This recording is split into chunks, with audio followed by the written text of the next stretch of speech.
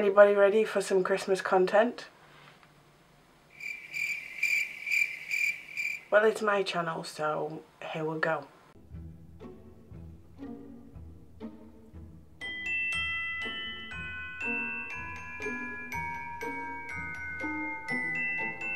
So for the makeup look I am planning to do today, I was looking at various different palettes. The Carnival 3, it has two blues in here.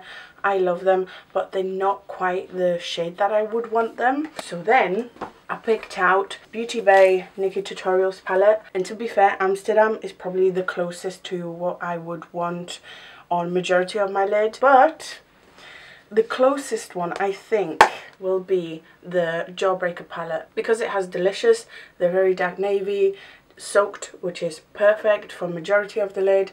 Then it even has Brain Freeze or Cute. It even has a white. For majority of my makeup, I'm going to use this.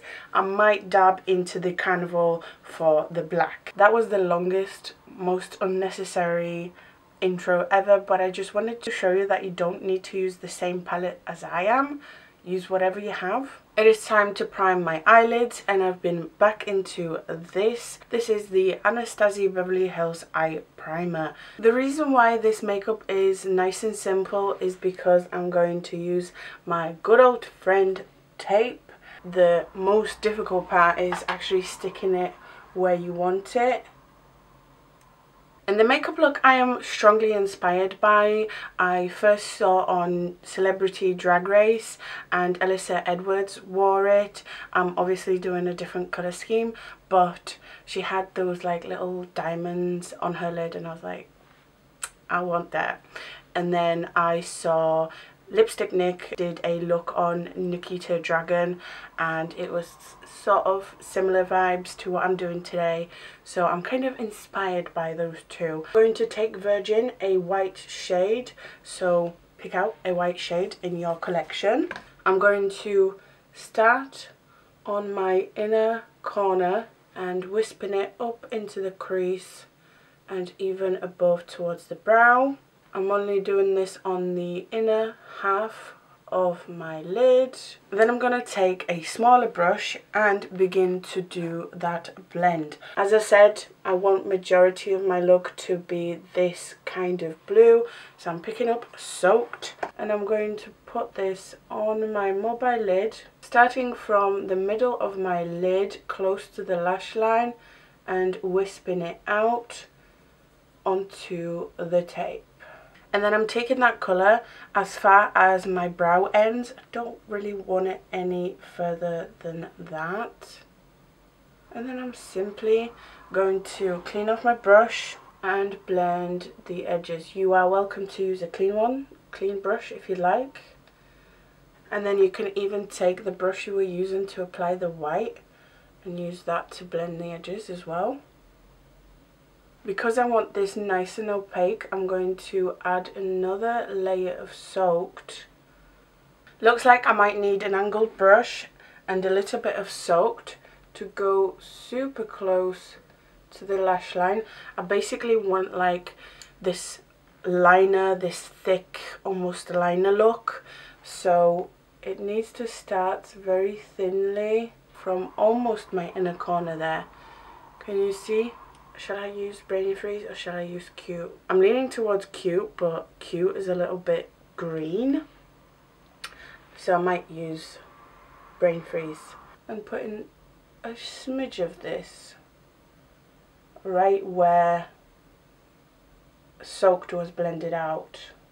I just realised you could do this look with the Alyssa Edwards palette, I think. Alyssa Edwards palette has a black, has a blue, a very nice shade of blue and a white so you could sort of build that gradient with those three shades. I'm going to take Virgin again, the white, to put on the edges.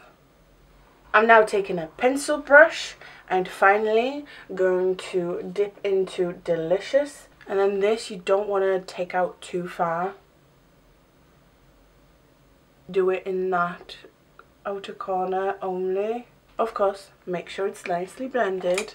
So I'm taking the brush I was using for soaked and blending that in. Blending is the most important part of this makeup look because you want that gradient effect. I was never like the biggest fan of blue, but wow. And let's just go for it. I'm going to take a little bit of Black Beach from the Carnival palette and I'm adding a little bit of black on that outer corner. And you've guessed it, a little bit of Delicious on top of the black to blend it out. And then a little bit of Soaked to blend out Delicious. I mean, that's why some people like to do that technique of packing on the shade and then blending it out. So they would start with the black and then blend it out with Delicious, blend it out with Soaked. But I always find that I uh, end up applying way too much shadow that way. And it's just not as nicely blended for me. Some people have the ability to do it, but I don't. The moment of truth. Will this work nicely? Did I take it out too far? Actually, I could have taken it out even further, but that's okay. And the aspect of this makeup look that makes it look stunning and very Christmassy in my opinion is the rhinestones. So I'm going to add a couple of gems uh, onto my eye, onto my outer corner and build almost a gradient as well. By the way, you want to leave your crease free of gems because otherwise you won't be able to link properly. Alright, I think that's enough gems. I wish I had more um, gradation when it comes to gems, but it still looks cute. It still looks nice. Let me do the other eye real quick and I will be right back. Okay, the other eye is done. I had to finish the eyes off with that little bit of elongated inner corner and I like it. I like the makeup look a lot and as you all know after doing my top lid I like to go and do my base and then I finish off the eyes so I'm going to start off with the Charlotte Tilbury Flawless Foundation I have tested this recently and I really like how it looks in pictures. It's not the most long wearing but it just looks so so nice. It does look flawless when you put it on so that's what I'm going to use. See it looked so pretty. It is not fully like settled in yet and it already looks really really nice.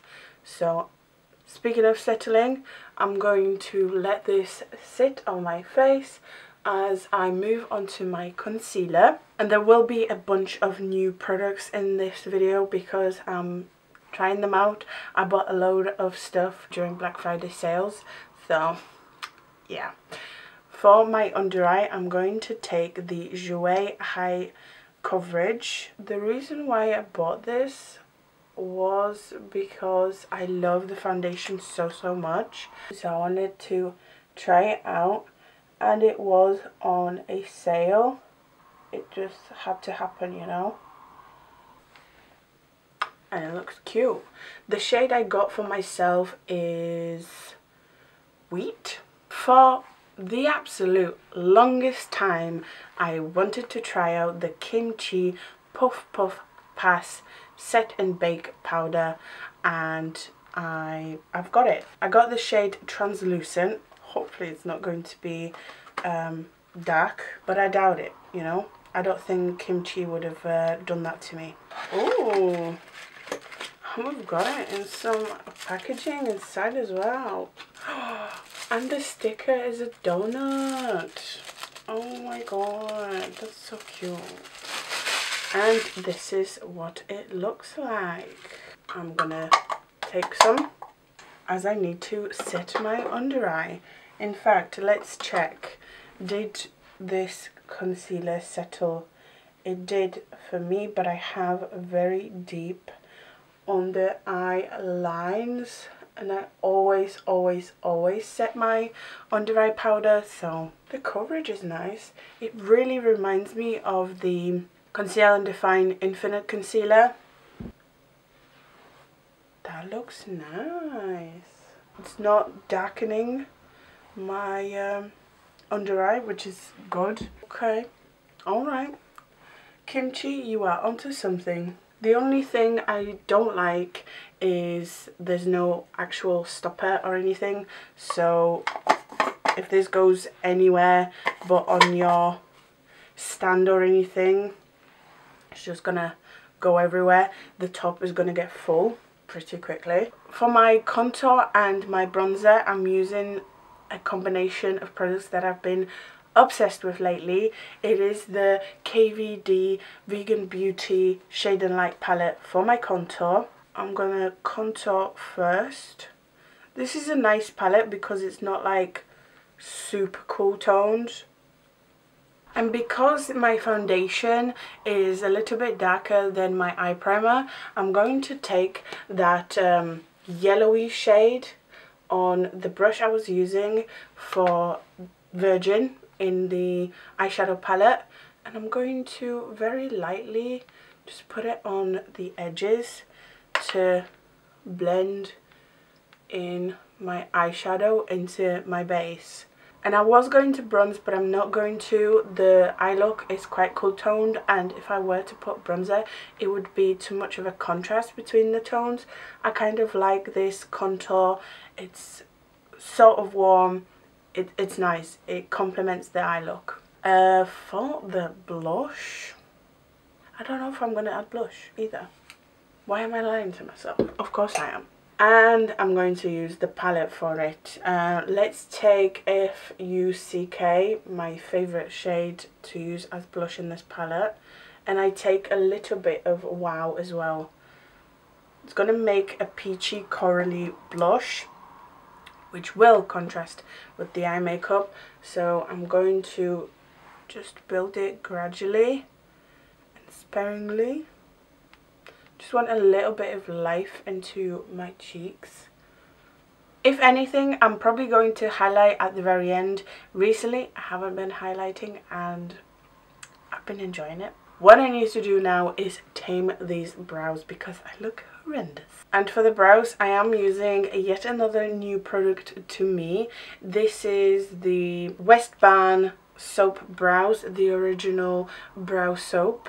And um, I've been looking for a dupe or a replacement for my Revolution brow styler because I go through this thing so quickly. You get 5 grams of soap in this product and I just go through it like within a month. You get 25 in this. I have tried it a couple of times now and I like this. I've put a little bit of water in and then I take my spoolie, I just take some of the soap I have been trying to be a little bit more eco-friendly and a little bit more conscious of how much product I use up, how quickly, etc, etc. So 25 grams in comparison to 5. The packaging, it's, it's huge, you know, it's all plastic. This is tin, so I can always just use this for like some kind of mints or something. I know you probably didn't think that I have such strong views when it comes to brow soap. When it comes to filling in my brows, the products have not changed. I am using my angled brush and my Anastasia Beverly Hills Brow Pomade in medium brown. I use the same technique but I just fill my brows in more. So that's exactly what I'm going to do. If you can hear my neighbour drilling and I'm sure you can, then I'm sorry. Hopefully he'll stop pretty soon. Time to finish off the eyes and I'm going to start off with soaked and I'm going to start off in the middle. Okay, I love soaked so much I've put it all over my lower lash line and I'm going to blend it out really really well. You know what, actually I'm going to take a little bit of Brain Freeze and then a little bit of Virgin to blend it out. Okay, and I do need just a little bit of Delicious, that darkest navy blue in the palette. Let's put some mascara on and some falsies. Because the eye look looks incomplete without anything in the waterline, I'm going to use a little bit of a blue pencil and finally for the lips I'm going to start off by outlining my lips with the Barry M lip liner in Toast and for the lipstick I'm using Flesh Pot from MAC. Okay guys, so here it is. This is the final wintry, smoky cat eye with some gems. I hope you like it. It is something different. It is kind of simple but very festive in my opinion.